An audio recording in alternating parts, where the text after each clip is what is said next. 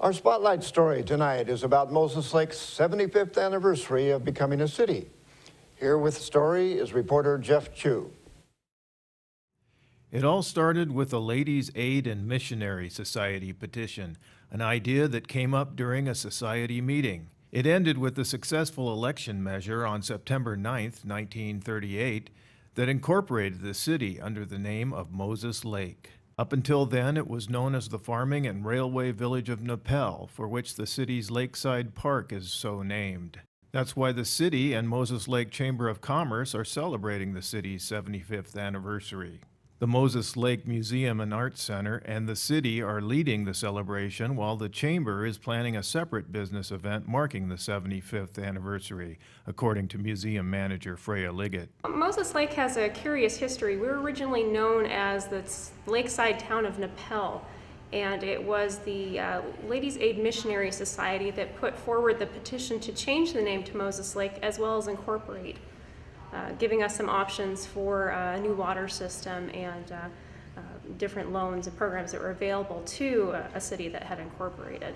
Liggett showed the archived notes of the Ladies Society minutes that document the idea to form a new city in 1938. The city incorporation measure passed by a vote of 71 to 41. On September 15, 1938, the town of Moses Lake officially came into existence. Its population was about 300.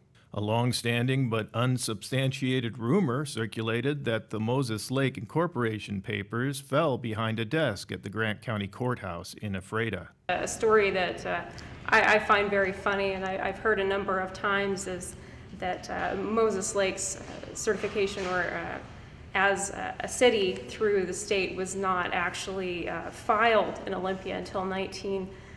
68. And uh, I think what happened is we have a document there. It's a letter between the city manager and um, Secretary of State for Washington.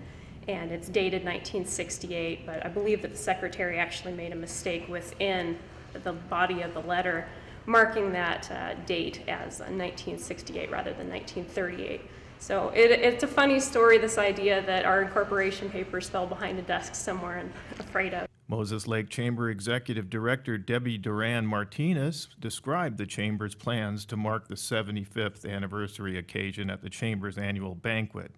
It will take place September 26th at Pillar Rock Grill. And it is themed uh, reflecting on the past and leading strong into the future. Shortly after the community was founded in 1938, the Chamber founded in 1941. The city's public event will be hosted by the Moses Lake City Council at noon Thursday at the Civic Center, 401 South Balsam Street, and feature a commemorative cake. I'm Jeff Chu for iFiber One News. Thank you, Jeff, and happy birthday, Moses Lake. We will be right back after this.